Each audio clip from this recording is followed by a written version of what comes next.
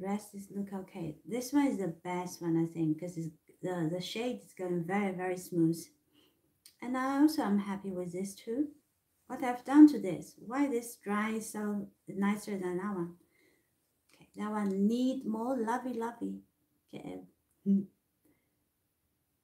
Okay, just add a little bit